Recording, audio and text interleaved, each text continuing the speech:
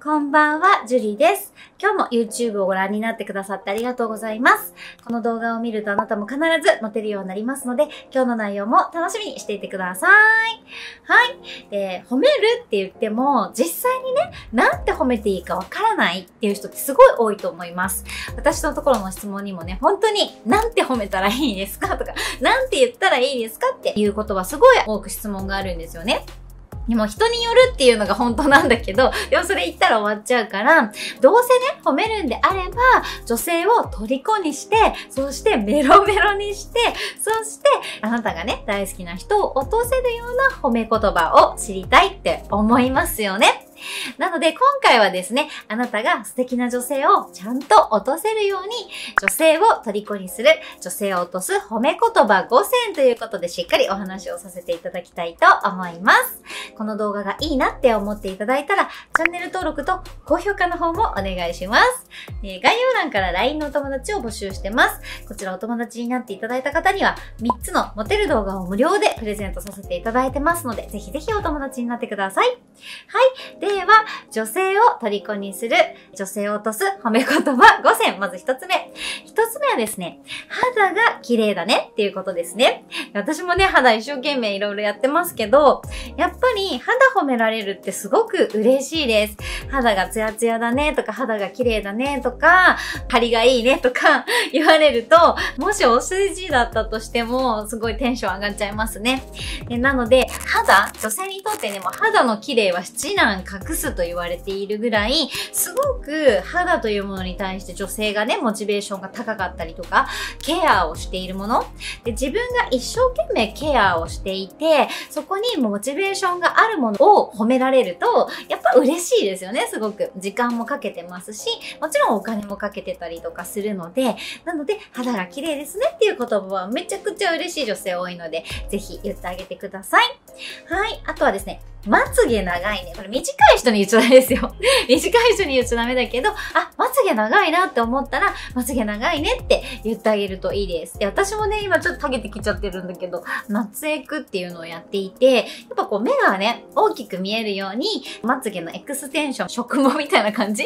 をやってるんですね、毎月。まあ3週間に1回ぐらいケアしてるかな。そう、それぐらい女性っていうのは、その目周りっていうものをすごくね、頑張ってるんですよ。お金と時間をかけて、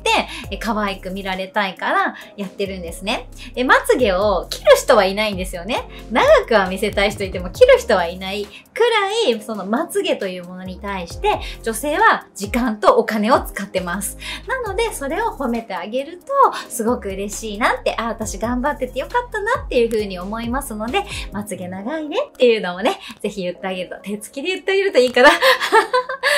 い、と、いいと思います。はい、そして3つ目。キラキラしてるねって、ツヤがいいねとかでもいいと思うんだけど、なんかキラキラしてるねっていろんな意味があるんですよね。で、これ男性的にちょっと抽象的すぎて、ふわふわしててよく意味がわかんないって思うかもしれないけど、なんかキラキラしてるねって言うと、相手が勝手にいいように解釈してくれるんですよ。え、なに私のオーラがキラキラしてるのって思うかもしれないし、あ、なんか肌がキラキラしてるってことかなっていう風に、相手が一番言われて嬉しいように勝手に解釈してくれるんですよ。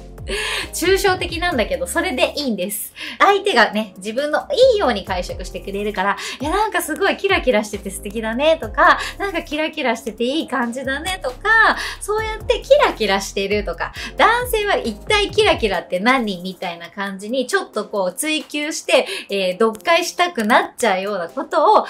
えて抽象的に言うっていうのはすごくいいです。なので、なんか今、いつもキラキラしてるけど、今日の何々ちゃんは、さらにキラキラしてるね、みたいな感じで言ってあげると、すごく喜びますので、キラキラしてるねっていうのも言ってあげるといいと思います。はい。そして4つ目、癒されるです。やっぱね、癒されるっていうと、自分が必要とされてるような気持ちになるんですよね。あ、私がいることによって、ゆうきくんはすごく嬉しい気持ちだったり、リラックスしてくれてるのかなっていう、あ、私の存在意義ってあるのかなっていう風に勝手に相手が思ってくれるんですよ。なので、癒されるっていうこと言葉は女性にとってもすごく大きなプレゼントになりますので、ぜひ、あ、自分が癒されたなって思ったら、僕はすごく癒されてるよっていうことを伝えてあげてくださいね。はい。そして5つ目。5つ目はですね、パワーが出る。ゆかりちゃんといると僕パワーが出るんだよね。みたいなのもいいですね。癒してパワーチャージするみたいなイメージです。女性もやっぱり男性の力になりたいっていう風に思ってるんですよね。だから疲れてお仕事頑張って疲れているね、あなたのことを癒してあげたい。そしてそれで充電をして、あなたがまた元気にパワーいっぱいになってお仕事に行ってくれたら嬉しいなっていう風に、どんな女性でもね、結構思ってますので、それを伝えてあげる。それをすることによって、あ、私役に立ててるんだって、役に立ててるあなたに対して好意を持つんですよ、人って。面白いでしょ？っていう感じでね、言ってあげるといいかなと思います。はい。では、おさらいしますね。女性を虜にする、女性を落とす褒め言葉5選。まず1つ目、肌が綺麗だね。2つ目、まつげが長いね。3つ目、キラキラしてるね。そして4つ目、なんか癒される。そして5つ目、パワーが出る。この5つ、しっかり相手に伝えてあげていただければなと思います。はい。では、おしゃべりコーナー行きたいと思います。海と山、どっちが好きですか？私ね、海も山も好きなんですけど、やっぱどっちかって言われたら海かなどうしてもなんか海に惹かれちゃうんですよね。なぜか。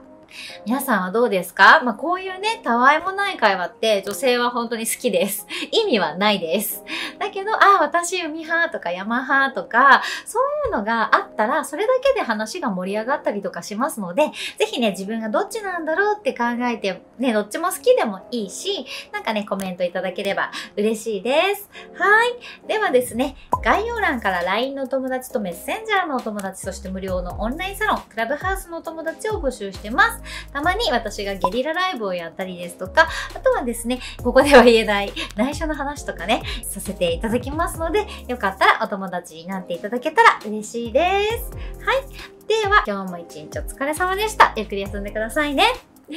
またねー。また明日。